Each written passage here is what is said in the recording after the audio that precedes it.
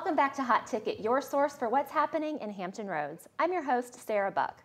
With the winter holidays behind us, it's time for my second favorite holiday, Girl Scout Cookie Time. Here to tell us about what to expect in 2016 are our friends from the Girl Scout Council of Colonial Coast, Caitlin and Christina.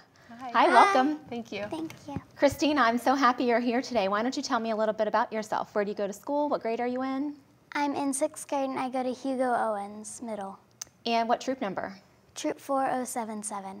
So tell me what's your favorite part about being a Girl Scout? I like all the adventures and community service activities we get to do. And you like selling cookies too, I hear. Yes. Yep, so we are in Girl Scout cookie sales time right now.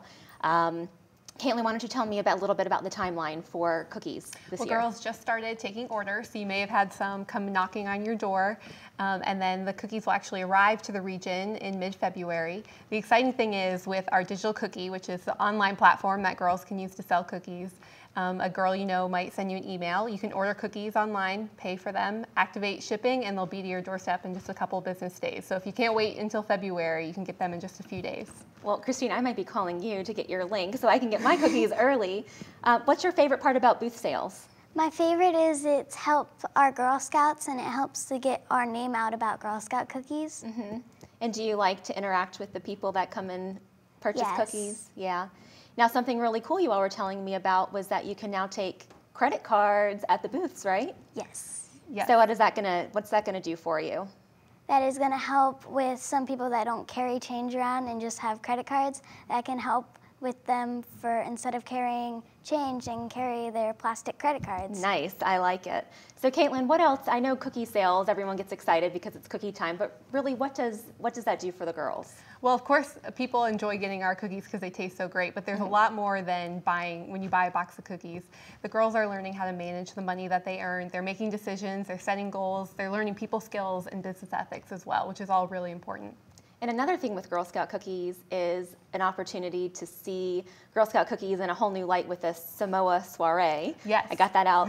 Um, tell me a little bit about that. I know you've had a few years of uh, that event and it's been very successful. Yeah, this is actually our eighth Samoa soiree. So we have top chefs from all over Hampton Roads coming to use Girl Scout cookies to make unique desserts and appetizers. They get really creative with what they make, and it's a fun night. We have live music, we have a silent auction, so it's a great night to support Girl Scouts and just enjoy yourself.